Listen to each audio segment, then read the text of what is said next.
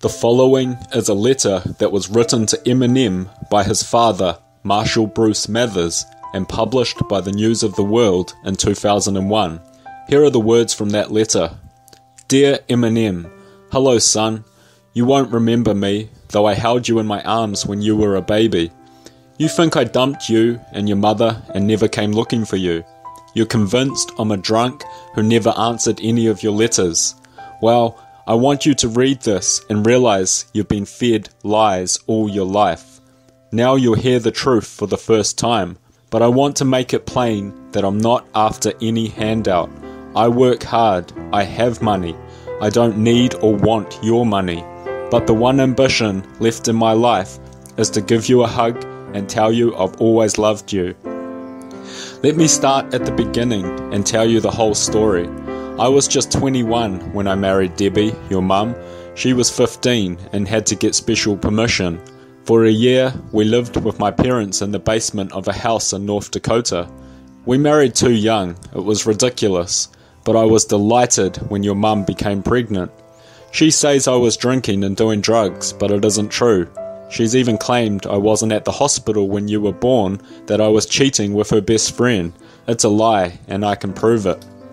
Okay, I wasn't there at your actual delivery. Hospitals weren't that keen to let in dads in those days, but I was there up to the delivery and 10 minutes afterwards. I still have the baby book in which Debbie recorded who was present in the hospital and I'm listed. Why would she write that if I wasn't there? When you were a baby, I loved it. You were so cute, and I enjoyed feeding you and doing your diapers. Your mum and I didn't get on, but she was great with you. You were always clean and well fed and well dressed, and I couldn't fault her for that. But sadly, the atmosphere between us deteriorated. We'd moved to our own apartment, and one day, when you were about 16 or 17 months old, I came home from work and everything was missing. It was deathly quiet. No sound from the kitchen or from your room. Furniture, pictures, everything. It was gone. There wasn't even a note. I got in my car and started to drive around anywhere you and your mum might be. I now believe you'd gone south to Missouri, where Debbie had family. It was like a bolt from the blue. To read now that it was me who walked out makes me choke with tears of rage. I spent six weeks looking everywhere for you both. I was distraught. Eventually, I got divorce papers, but it was all done through lawyers, and they wouldn't tell me where you both were. There was never a day in court, it was all done on paper. After about a year, I gave it up. I just had no more energy for it. In the movies, you track someone down, but in real life, you can't do that. You have a job, you have to work, you don't have unlimited cash to go hunting around the nation. I've since read interviews where you say you wrote letters to me and they came back, returned to sender. I can say on the word of God that I didn't receive even one letter from you. Anyway, in 1975, I moved to San Diego, fell in love again, and had a son and daughter. Michael's 23 and Sarah's 21. They're the half brother and sister you never met. In fact, it was Michael who came to me and said there was this new rapper on the scene and his real name was the same as mine. I didn't think anything of it.